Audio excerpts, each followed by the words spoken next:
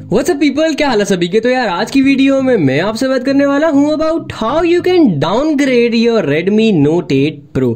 मतलब आप अपने फ़ोन को MIUI 12 से MIUI 11 पे ला सकते हो, या फिर अपने फ़ोन को Android 10 से Android 9 पर ला सकते हो। अब गाइस आपको इसकी ज़रूरत इसलिए क्योंकि आपको अपने फ़ोन के अंदर कोई रोम इंस्टॉल करनी होगी, और उसके लिए गाइस मिनिमम रिक्वायरमेंट ये है कि आपका फ़ोन एंड्रॉइड पाई पर होना चाहिए। But make sure guys do at your own risk अगर आपका फ़ोन खराब खराब होता है या फिर कोई भी और दिक्कत आती है तो भाई उसके लिए मैं जिम्मेवार नहीं हूँगा सो लेट्स बिगिन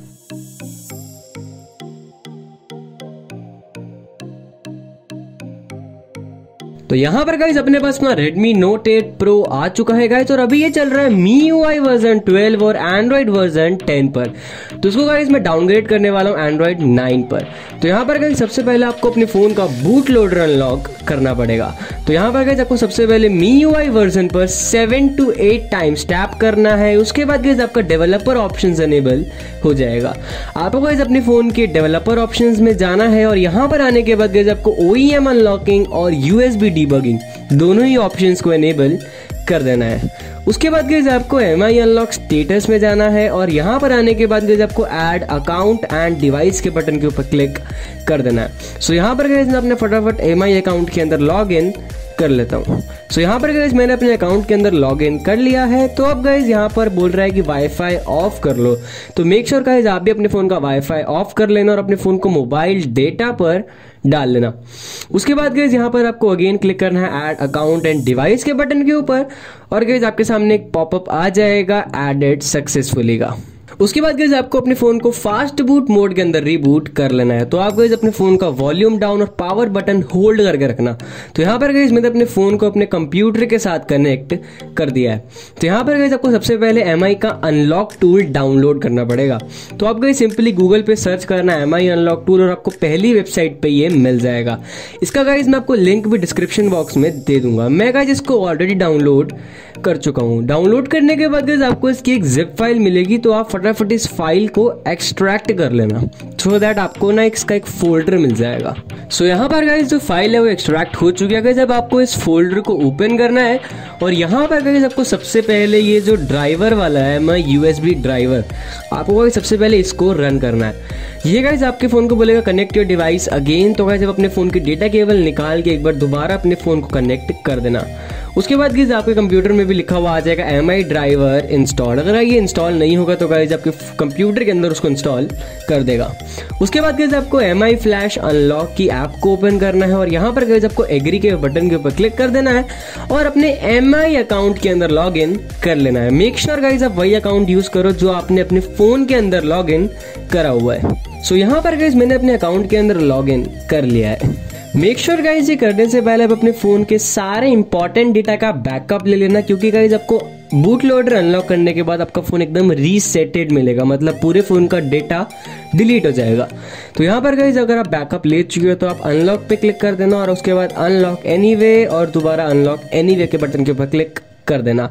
हो सकता है इसे करते टाइम आपको वेटिंग टाइम दिखा दे 168 आवर्स का, या फिर कितने भी टाइम का। तो आप गाइज़ एक वीक के बाद ये सेम प्रोसेस रिपीट कर लेना।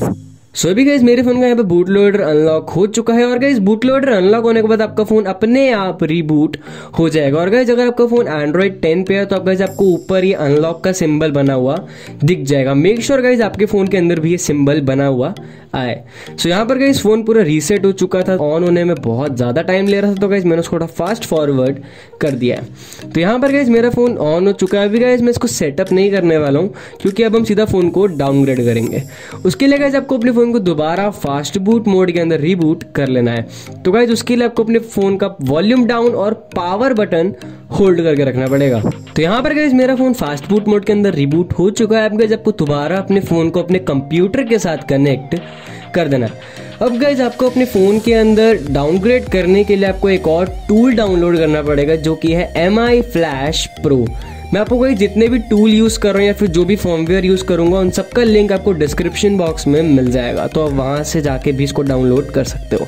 तो यहाँ पर गैस आपको second website android M K website पर आ जाना है और यहाँ पर आने के बाद गैस नीचे स्क्रोल करना है और आपको गैस यहाँ पे लेटेस्ट वर्जन मिल जाएगा। मेक श्योर गैस उसके आगे ऐसे लेटेस्ट लिखा हो सो यहाँ से गैस आप बड़े आराम से इस टूल को डाउनलोड कर सकते हो।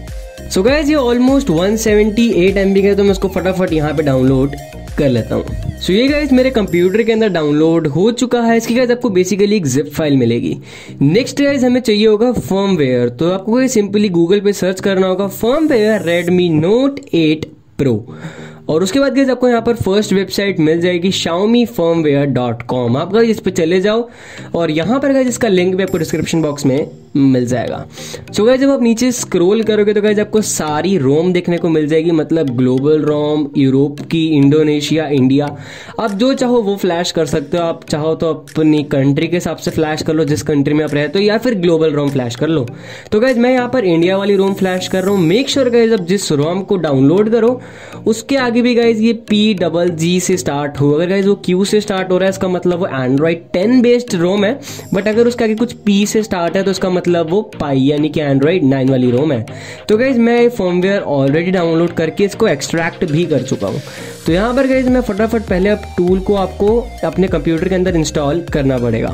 तो गाइज़ आपके जो यहाँ पर टूल है उसको गाइज़ आपको एक्सट्रैक्ट करना पड़ेगा और इसके लिए गाइज़ मैं विंडर का यूज़ कर रहा हूँ। आप जो चाहो उस सॉफ्टवेयर का यूज़ कर सकते हो। सो so, यहाँ पर गाइज़ ये एक्सट्रैक्ट हो चुका है। अब गाइज़ आपको इस फोल्डर को ओपन करना है और इसके सेटअप को रन करना है। आपको ये सब इंस्टॉल करना तो आप सभी लोग जानते ही होंगे पर अगर नहीं जानते हो गाइज़ आपको कुछ नहीं करना है बस आपको नेक्स्ट नेक्स्ट नेक्स्ट का बटन दबाते जाना है। सो so, यहाँ पर गाइज़ जो टूल है, वो इंस्टॉल हो चुका है आप अपने आप, अगर आप लॉन्च वाले बटन के ऊपर टिक करोगे तो अपने आप गाइज़ ये ओपन भी हो जाएगा। इस टूल दिखने में कुछ ऐसा है। यहाँ पर गाइज़ मैं ऑलरेडी इसके अंदर अपनी एमआई अकाउंट को लॉग कर चुका हूँ। अगर आपने नहीं भी करा तो कोई दिक्कत नहीं, आपको करने की ज़रूरत भी नहीं पड़ेगी। आप बिना लॉगिन करे भी ये कर सकते हो। यहाँ पर गाइज़ मैं सबसे पहले आपको दिखा देता हूँ कि ये गाइज़ मेरे पास फॉर्मवेयर का फोल्डर बन चुका है, जो हमने जिप फ़ाइल डाउनलोड करी थी एंड्रॉइड नाइन की। उसको गाइज़ यहाँ पर मैं ऑलरेडी एक्सट्रैक्ट कर चुका हूँ। आप लोग भी इसको एक्सट्रैक्ट करके एक फोल्डर बना लेना। उसके बाद गाइज़ यहाँ पर आपको एम आई फ्लैश का टूल ओपन कर लेना है और उसके बाद गाइज़ यहाँ पर आपको उस वाले फोल्डर को चूज़ कर लेना है। मतलब जो फॉर्मवेयर वाला फोल्डर था, आपको उसको चूज़ कर लेना। तो यहाँ पर गाइज़ मैंने चूज़ कर लिया। आप देख सकते हो यहाँ पर बेगोनियन लिखा हुआ है और जो वर्जन है गाइज़ वो eleven point zero point four point zero है। उसके बाद गाइज़ आपको फ़ोन अगर कनेक्टेड होगा तो आपको रिफ्रेश के बटन के ऊपर क्लिक करना और उसके बाद आपके फ़ोन को ये डिटेक्ट कर लेगा। उसके बाद गए आपको फ्लैश का बटन दबा देना है बट एक और इंपॉर्टेंट बात गए अगर फ्लैश का बटन दबाओगे तो यहाँ पर गए आपको नीचे तीन ऑप्शन देखने को मिल रहे हैं, जिसके अंदर है clean all save user data और क्लीन ऑल एंड लॉग तो मेक श्योर गाइज़ अगर आपको रोम फ्लैश करनी है एंड्रॉइड नाइन पे करने के बाद तो सिर्फ़ आप क्लीन ऑल पे करना, क्योंकि गाइज़ अगर आप clean all and lock choose करते हो तो आपके फ़ोन का बूट लोडर दोबारा लॉक हो जाएगा। तो मैंने यहाँ पर गलती से क्लीन ऑल एंड लॉक शुरू कर दिया था।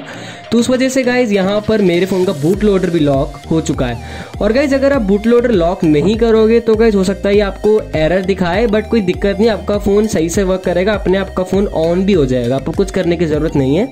जैसे ही सॉफ्टवेयर पूरा इंस्टॉल होगा आपका फ़ोन अपने आप ऑन हो जाएगा। तो यहाँ पर गाइज़ मैं अपने फ़ोन को फटाफट सेटअप कर लेता हूँ। तो यहाँ पर गाइज़ मैंने अपने फ़ोन को सेटअप कर लिया है, और मेरा फ़ोन गाइज़ यहाँ पर ऑन भी हो चुका है। तो यहाँ पर गए हम होम स्क्रीन पर आ चुके हैं। आपको यहाँ पर मैं आपको सेटिंग में जाकर दिखा देता हूँ कि एंड्रॉइड वर्जन क्या है। वैसे मी यू आई इलेवन तो भाई स्टार्टिंग में ही लिखा हुआ आ गया था। बट स्टिल एक बार आपको दिखाता हूँ देख पा रहे हैं यहाँ पर एंड्रॉइड वर्जन पाई हो चुका है। तो होप गाइस आपको वीडियो पसंद आई होगी। वीडियो पसंद आए तो वीडियो को लाइक कर देना। नीचे कमेंट करो भाई चैनल को सब्सक्राइब करना मत भूलना।